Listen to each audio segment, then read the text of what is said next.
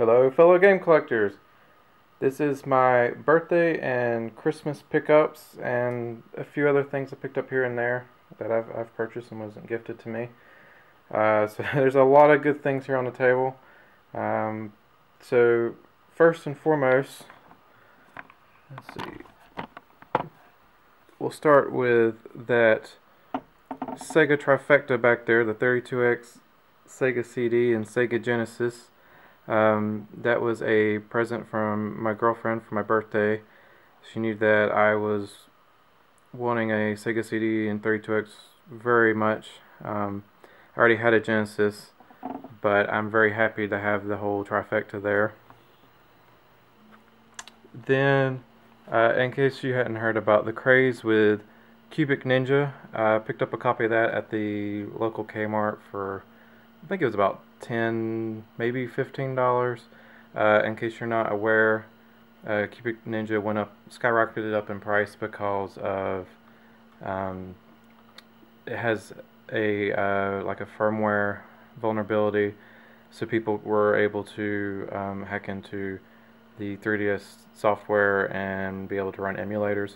I tried it out. Um, it you know it's there's not a lot to see there. You know it's pretty neat I'm interested in that kind of stuff. I've, I've picked up um, similar things for uh, the DS. Um, then I got uh, for 3DS Theatrhythm, uh, Final Fantasy Curtain Call. I have the first one already, uh, which is really good. Um, this was a, a, Christmas present to me. Uh, then I got a couple of Zelda games here uh, that surprisingly I never picked up when they when they came out. Um, Zelda Spirit Tracks and uh, Zelda Minish Cap. I've never played either one of them. Um, I got those at a Black Friday sale at my local um, local game store. Uh, another Black Friday sale, uh, Shadow Mordor. Otherwise, I really wouldn't show you this, but I paid, I think it was twenty dollars on Amazon. Um, it's a pretty good deal for Black Friday. Uh, I picked up this copy of Doom 3 from one of my coworkers who was who's um, getting rid of his 360. This is the only game he had that I didn't have, so I went and picked it up. Um, and I believe it also has Doom 1 and Doom 2 on it. I hadn't got to check it out yet. Then for GameCube, I picked up Star Fox Adventures. Uh, this is about, I think this was about fair market value. I got that at Edward McKay. Uh, I'm finally increasing my Mario Party collection. Um, I have 1 through 3 on N64 and I've had 8 on the Wii. So now I'm only missing 7. Uh, so 4 I got for my birthday. Uh, 5 and 6 I paid about fair market value uh, as well as 9. 9 I got for fair market value. Um, they're all pretty good. 9's very different from the rest of the games because it puts you puts everyone in a cart together. Um, so we'll go over here. Um, with this uh, Sega CD Genesis 32X slot, my girlfriend got me uh, Star Wars Rebel Assault for Sega CD, which is a pretty difficult game if you've never played it before, um, as well as Dragon's Lair, uh, which is a game I already have, um, but it's it's pretty challenging um, unless you know what moves to execute during uh, certain specific scenes. Um, and then Mortal Kombat 2 for 32X. Uh, yeah, I've, I've played Mortal Kombat 2 before. 32X version seems to be pretty good, pretty solid. Um, although I found it pretty challenging. I don't know if it's just I haven't played Mortal Kombat in a while or what, but the computer kept kicking my butt. Uh, then I got um, Mario is Missing for uh, Super Nintendo. Um, it's um, I've never played it before. Um, I, have heard mixed things about it. Um, it it's not your typical Super Mario game. Um, as well, for my birthday, I received a copy of Zelda Majora's Mask, fantastic N64 game.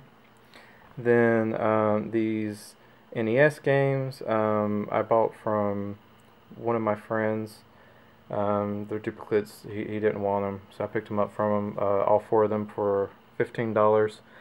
Um, you have Wood and Water Rage, which is a really challenging game. Um, unless you know how the controls work, you will be very frustrated with this game. Um, Wrath of the Black Manta, uh, your typical 2D side-scrolling um, adventure game or whatever you call that genre. Uh, same as Rambo. Um, and stealth, if you if you've played um, Top Gun, it, it's kind of similar, except uh, the flying around is a bit more in an open space. Um, then I have these lot of N64 games. Um, all of them I received for my birthday or Christmas, with the exception of Worms Armageddon.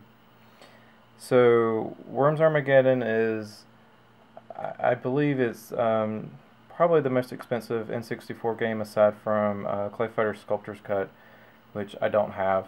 Um, so I actually bought this one fair market value, um, but I didn't pay the current price of fair market value. Um, I bought it from Edward McKay. Uh, that go the game itself goes for a hundred. I paid seventy five, and it's it's in fantastic, amazing condition. Um, it had a sticker on the back that I was able to remove, but it did it did tear it a little bit in that corner. But aside from that, it, it looks pristine. Um, I'm never going to find it at a yard sale and I'm wanting to complete my N64 collection so I was decided to go ahead and pick it up. Um, so then we have World Driver Championship, uh, just your typical racing game on N64. Um, you have Xena, uh, which is an interesting 3D battle arena kind of game. Um, moves are a bit repetitive, but um, it has a four-player mode I haven't got to try, but I've heard it's you know it's pretty decent if you just want to have a a quick-to-learn party fighting game. Uh, then I have Duke Nukem Zero Hour, which is a third-person perspective Duke Nukem game. I love Duke Nukem, but I've never played this one before, so I don't really know um, how well it is. Con controls are a little, little interesting to get used to. Uh, then we have Hey You Pikachu, um, which unfortunately I don't have the mic yet. I, I, can pick up an adapter for that for I think about five dollars at the local game store. Um, Star Soldier. Uh, if you like vertical scrolling shoot 'em ups, this is a pretty good one. Um, I, I, played it for a little bit and I was pretty impressed, and I've heard good things about it. Uh, Top Gear Rally is a another racing game, but has a little bit more focus on physics the handling in it is pretty hard, but you can play multiple um, weather modes, so you can drive in the fog or rain or even snow, and that can affect your handling a little bit. Uh, then we have the original Quake, um, pretty much like the PC version. Um, and I really like this one. I'd never heard of this one before, but it's uh, Fighter's Destiny. Um, pretty neat little 2D, well, I guess it's technically a 3D um, fighting game, but your fighters don't have hit points, they don't have health bars. Instead, um, you have to get so many points to win uh, the match against the person. And you get points by uh, knocking them out of the arena, or actually knocking them out, or doing a takedown on them, or a special move. Very different um, from most fighter games I've played, which isn't many. Uh, the new Tetris, um, if you like Tetris, you'll probably like this. Uh, nothing too fancy about it.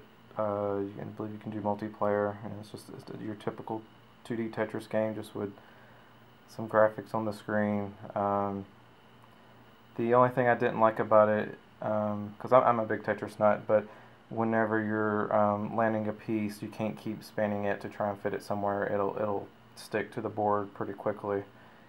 But other than that, I, I liked it pretty much. Um, Hexen, um, again another port from the PC uh, from a PC game.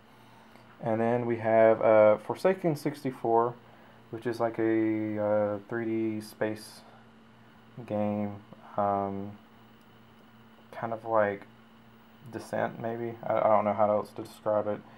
Um, I've heard it's very unforgiving with saves and lives, continues, stuff like that. And it was also ridiculous how many uh, splash screens this game had before you get to it. I swear it had about six splash screens before you could even start playing the game.